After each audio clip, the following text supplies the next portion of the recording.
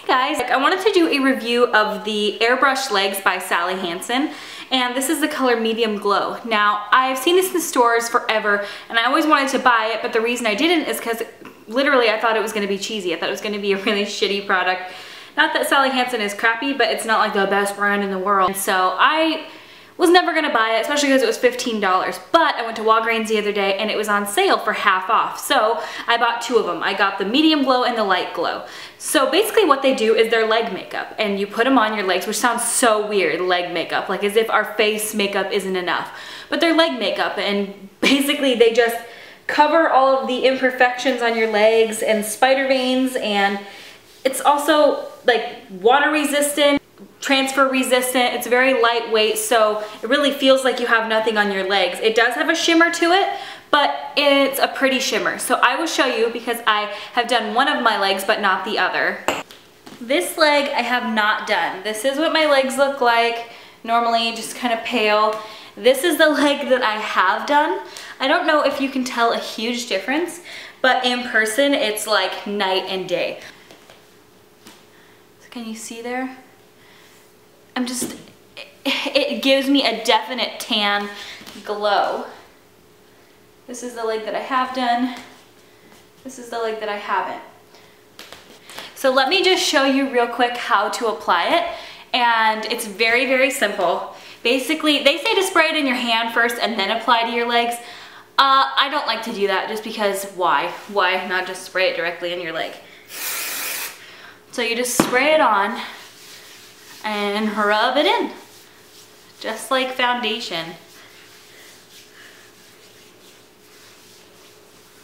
Yeah, it's just like a foundation for your legs and it is so good though, like it, it makes your legs look so nice.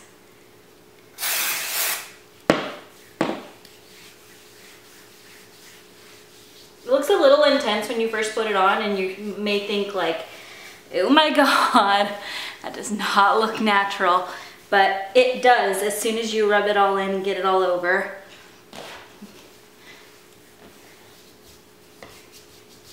So for someone pale who doesn't necessarily want to commit to self-tan, just try something like this, which will definitely work. I mean, it definitely tans you and it washes right off. So that's it.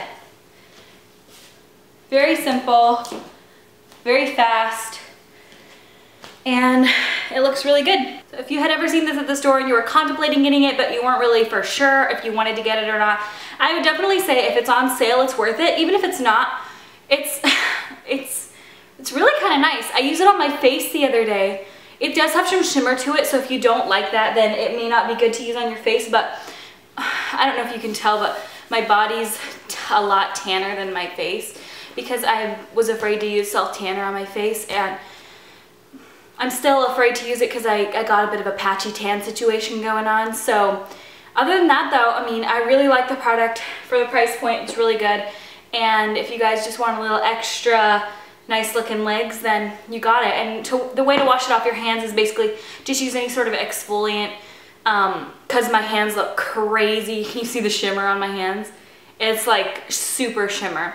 Um, but just go wash them with like a really good soap and scrub the stuff off and it'll come right off. So yeah, that's my review of the Sally Hansen's Airbrush Legs. I hope you guys like it. If you try it, let me know if you guys liked it as well.